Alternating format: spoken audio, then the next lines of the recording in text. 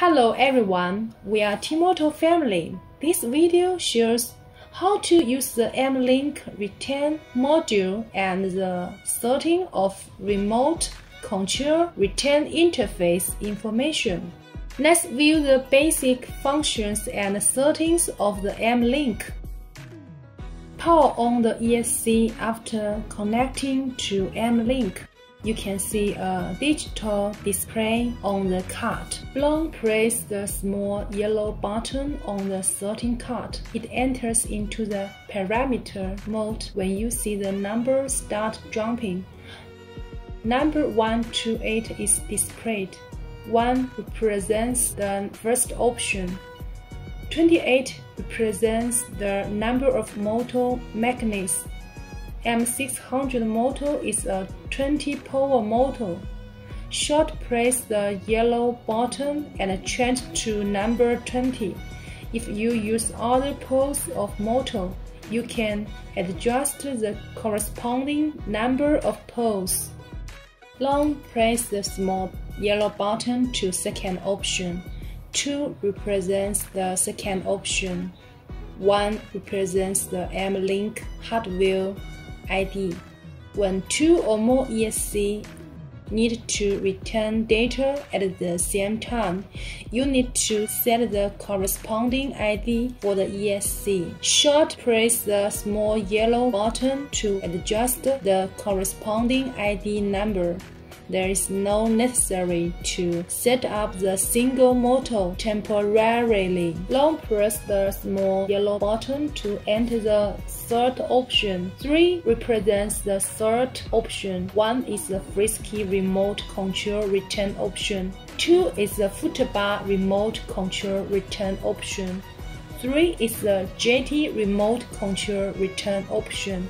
Short press the small yellow button to select your corresponding remote control. Long press the small yellow button rumble and no longer jumping after confirmation indicating successful serving. Next is the setting and tuning of return interface information of the remote control. Here is a demonstration of Futaba remote control as an example. First, you need to use a Futaba receiver with return function. This time, we use Futaba 7108 receiver for tuning. The first step, open the remote control. Select the receiver mode. Click on the linkage option of remote control. Select system type, then select FASSTest 18CH telemetry return information be confirmed in active mode, then exist. The following is the sorting of the return information. Click the linkage option and the second page to select the sensor menu. Click Reload in the second page of the menu to reset the menu.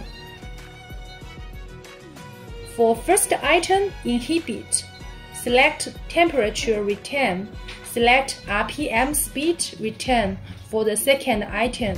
Select CUR F1678 for the third item. Automatically generated CUR F1678 for the fourth and fifth item. Return information settings completed.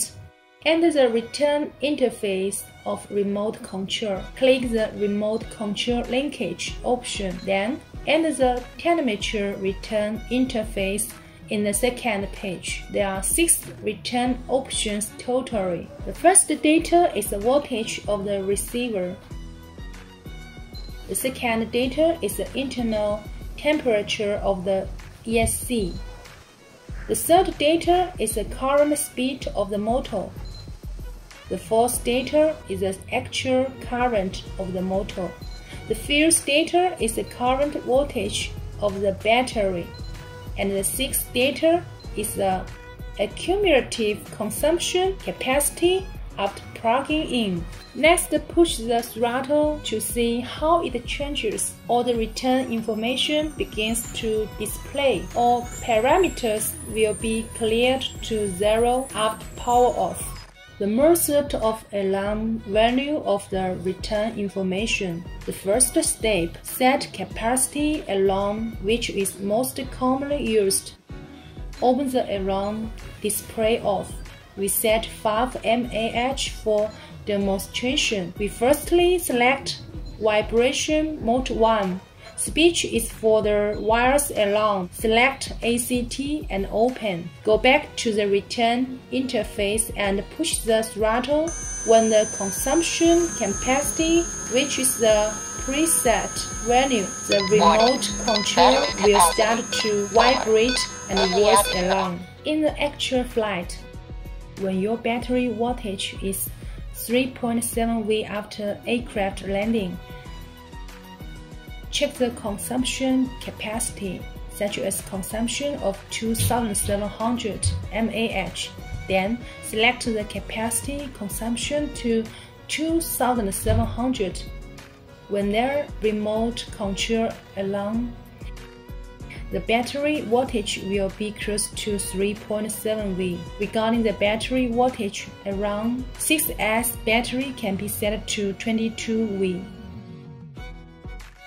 and the battery voltage can reach 22 V and will have alarm simultaneously.